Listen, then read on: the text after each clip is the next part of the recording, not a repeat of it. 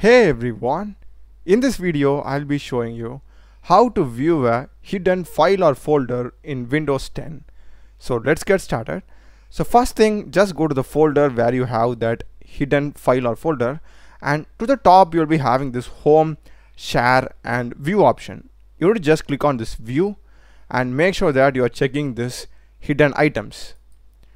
And now you can see I'm getting this app data. For the hidden folders, the icon will be quite dull. Here you can see like this and I'm also having this folder named hidden. So the icon is quite dull. And if I just uncheck it these two folders will just vanish off. So this is basically how you view hidden folders. And I hope you have found this video useful. Do check the playlist of my channel. Done a lot of videos in programming and AI tools. Subscribe me. Thanks for watching